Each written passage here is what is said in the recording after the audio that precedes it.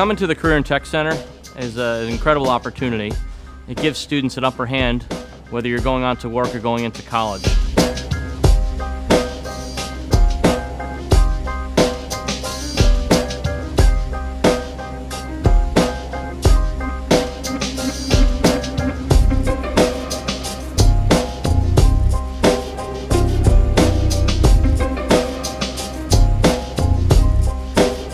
Have uh, 10 vehicles that the shop owns that we have on our own that we can bug. We can put problems in, the students have to find the problems. We also work on a lot of student and faculty vehicles.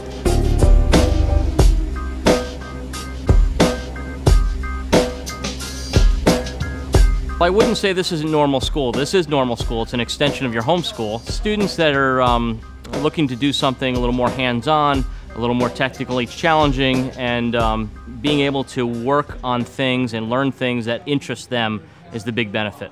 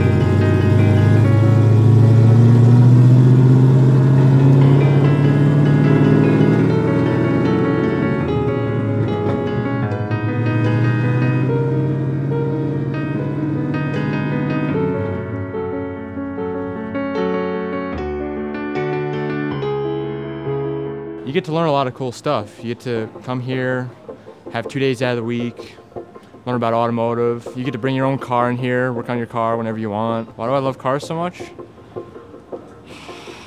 I guess it started a long time ago as a kid. I always played with like the little Hot Wheels on the ground. When I got old enough, I just was, it was always interesting to me to just open the hood and try to figure something out, you know, to see how it would work and then how to fix it. And then when you come here, I mean, you learn all the technical like things about it. Dude, the opening thing for this should be like this. And then it just zooms out. When I fall in love, I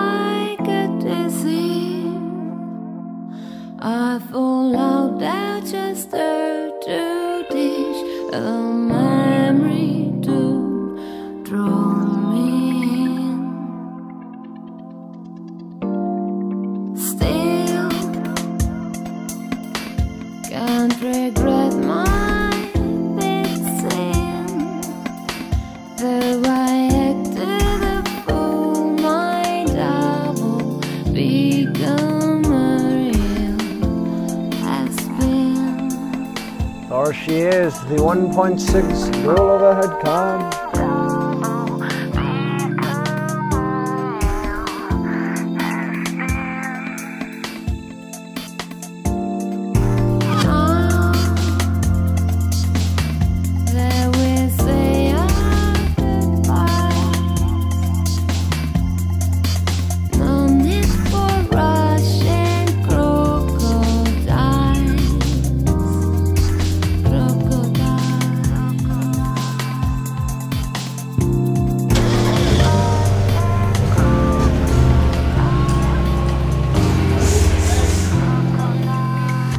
Call it the uh, Mazda Miata. When I fall in love, I get dizzy. I For students that leave here, many of them go on to college for automotive technology or other things. And um, a, a large number of them go on for other things. They may either go straight to work in automotive technology or something else, but this is a good skill set. A lot of reasons why I like BOCES. There's you got the coolest teachers on the face of the earth, like Mr. Lux, Mr. Rope and I mean, who wouldn't want to come here?